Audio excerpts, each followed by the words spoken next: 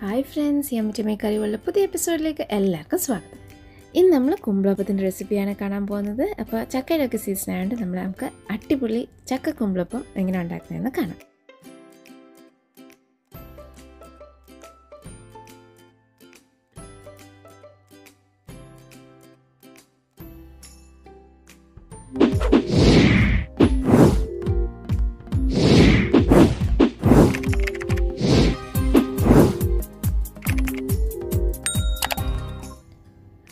ഉണ്ടാക്കാനായിട്ട് ആദ്യം നമുക്ക് ചെയ്യേണ്ടത് കുറച്ച് ശർക്കര ഒന്ന് ഉരുക്കിയെടുക്കണം. അപ്പോൾ നമ്മൾ ഞാനിവിടെ ഏകദേശം ഒരു വൺ ഫിഫ്റ്റി ഗ്രാമിന്റെ ശർക്കര എടുത്തിട്ടുണ്ട്. കുറച്ച് വെള്ളം കൂടി ആഡ് ചെയ്തിട്ട് ഇതൊന്ന് മെൽറ്റ് ചെയ്തെടുക്കുകയാണ്.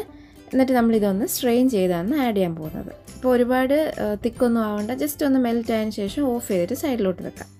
അടുത്ത നമുക്ക് വേണ്ടിയത് ചക്കപ്പഴമാണ്. ചക്കപ്പഴം ഞാനിവിടെ എല്ലാം ക്ലീൻ ചെയ്തിട്ടാണ് എടുത്തിരിക്കുന്നത്.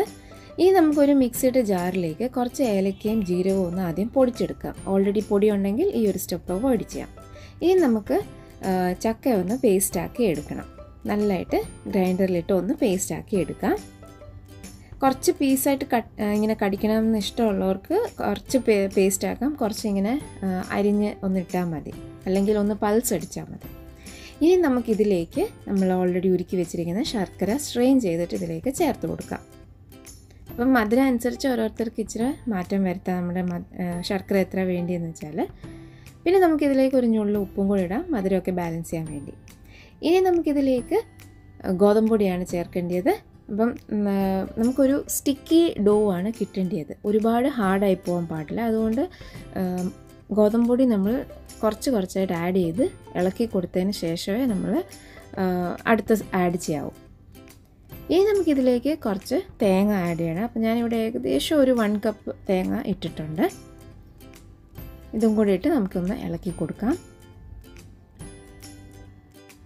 ഇപ്പോൾ ഇതാ ജസ്റ്റ് ഒരു നാല് ടേബിൾ സ്പൂണേ ഞാൻ ചേർത്തിട്ടുള്ളൂ. ഇത് ഭയങ്കര ലൂസായിട്ടുള്ള ഒരു കൺസിസ്റ്റൻസി അല്ലേ? അപ്പോൾ നമുക്ക് എന്തായാലും കുറച്ചുകൂടെ ഗോതമ്പൊടി ചേർക്കാം.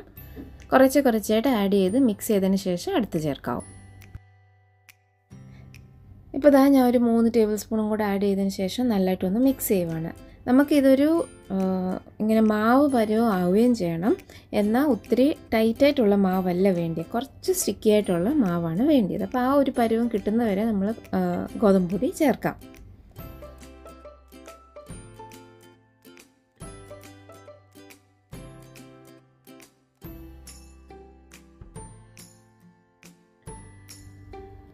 അപ്പോൾ അതാ കണ്ട് നമുക്കിപ്പം മാവ് നമ്മുടെ പാത്രത്തിന്റെ സൈഡിൽ നിന്നൊക്കെ ഇങ്ങനെ കളൻസ് വിട്ട് വരുന്നുണ്ട്. ആ ഒരു പരുവം ആവണം. എന്നിട്ടും പിന്നെ ഇത്തിരി ടൈറ്റോ ഡ്രൈയോ ആയി പോകാൻ പാടില്ല. അതുകൊണ്ട് ഗോതമ്പ് പൊടി ഇടുമ്പം എപ്പോഴും സൂക്ഷിക്കണം. ഒത്തിരി ഓവറായി പോയാൽ ഭയങ്കര കട്ടിയായി പോകും നമ്മുടെ കുമ്പിളപ്പം. അപ്പോൾ ഈ ഒരു പരുവം ആയിട്ടാണ് നമ്മൾ എടുക്കേണ്ടത്. സ്റ്റിക്കി ആയിരിക്കണം എന്നാൽ നമുക്ക് ഇങ്ങനെ ഒരു ഡോ പോലെ ഇങ്ങനെ വിട്ട് വിട്ട് വരണം. പാത്രത്തിൽ നിന്ന് അപ്പോൾ ഇതാ ഇപ്പോൾ റെഡി ആയിട്ടുണ്ട്.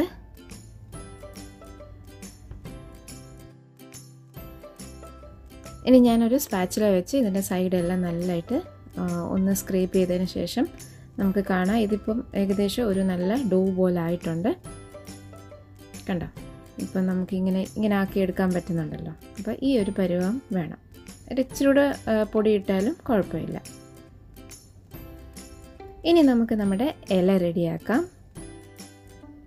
അപ്പോൾ കുമ്പളപ്പം ഉണ്ടാക്കാനായിട്ട് നമ്മൾ ഉപയോഗിക്കുന്നത് വഴുന്നയില അല്ലെങ്കിൽ ബേ ലീവ്സ് എന്ന് പറയുന്ന ഇലയാണ്.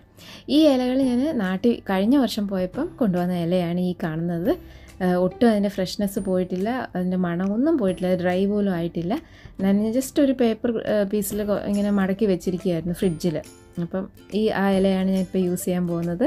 ഇത് നന്നായിട്ട് നമ്മളൊന്ന് കഴുകി ടിഷ്യൂ വെച്ചോ തുണി വെച്ചോ എങ്ങനെയും ഒന്ന് നല്ലതായിട്ട് ഡ്രൈ ആക്കി എടുക്കണം. എന്നിട്ട് നമ്മുടെ ബാറ്ററി ഇതിലേക്ക് നമുക്ക് ഇട്ട് കൊടുക്കാം. അപ്പോൾ അതാ ഇതുപോലെ ഫില്ല് ചെയ്തിട്ട് നമുക്കിത് സ്റ്റീം ചെയ്യാനായിട്ട് ഒരു അപ്പച്ചമ്മലോട്ട് ഇട്ട് വെക്കാം.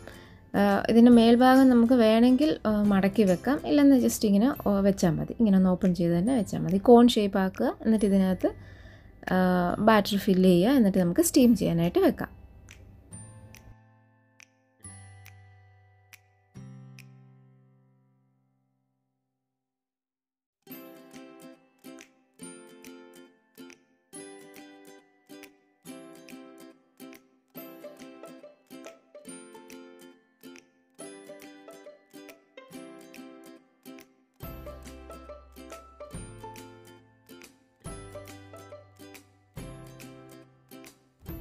എല്ലാ കുമ്പിളപ്പം റെഡിയായതിന് ശേഷം ഒരു അപ്പച്ചമ്പിൽ നമുക്കിത് ഇതുപോലെ സ്റ്റീം ചെയ്യാനായിട്ട് വെച്ച് കൊടുക്കാം. ഒരു fifteen ten to fifteen minutes എടുക്കും നല്ലതായിട്ട് സ്റ്റീമായി കിട്ടാനായിട്ട്. അപ്പോൾ ഇതാ കണ്ടോ നമ്മുടെ അടിപൊളി ചക്ക കുമ്പിളപ്പം റെഡി നല്ല ടേസ്റ്റും നല്ല സോഫ്റ്റും ആയിട്ടുള്ള ഒരു ചക്ക കുമ്പിളപ്പമാണിത്. അപ്പം നമുക്ക് ജസ്റ്റ് ഒരെണ്ണം തുറന്ന് നോക്കാം. ചൂട് ആറിക്കഴിഞ്ഞാലും അത്യാവശ്യം സോഫ്റ്റായിട്ട് തന്നെ ഇരിക്കുന്ന രീതിയിലാണ് ഉണ്ടാക്കിയിരിക്കുന്നത്. അപ്പോൾ ഇതാ കണ്ടോ നമുക്കിതൊന്ന് ഓപ്പൺ ചെയ്ത് നോക്കാം.